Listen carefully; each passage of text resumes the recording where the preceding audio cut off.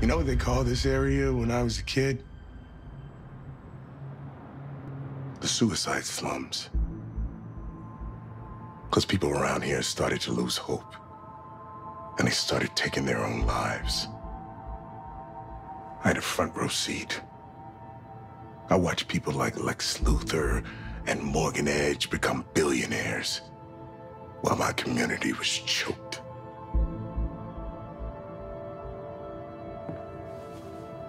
I learned at a very early age. No one was gonna come here to save us. So I became the person they looked to. I transformed this community. I gave my people hope. I made real change. I didn't just put out fires. That's what you think I do. The whole time you've been on this planet, you haven't changed a damn thing. I save people's lives. Not here, you didn't. No,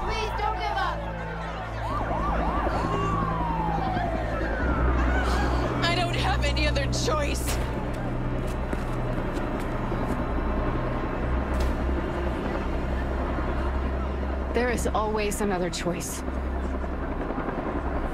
Not this time. It's too late to save you. See? Another fire. We're not done. Oh. We're done. And never step foot in my house again, acting like you're better than me.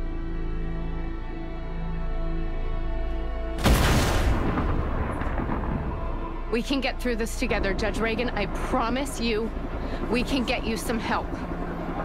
There's no helping me now. What's coming for me?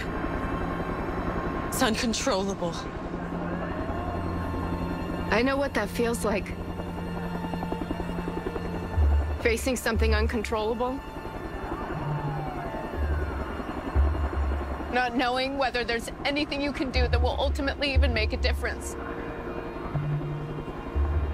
I understand that fear How could you possibly understand that? because I'm facing something uncontrollable too.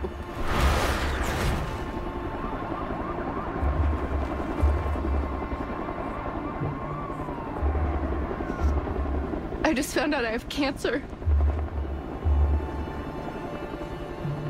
And it's aggressive. And all day, I've been trying to hang on to hope. But it's really hard because I'm really scared.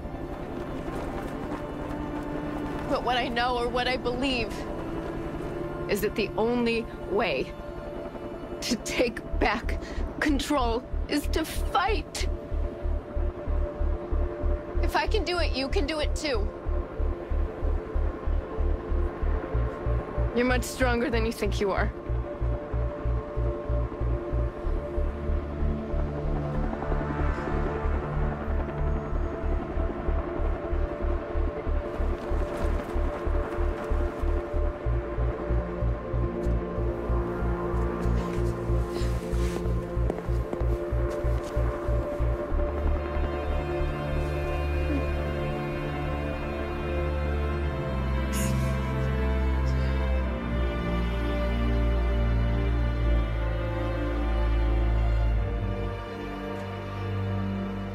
Help her inside. I'll be right there.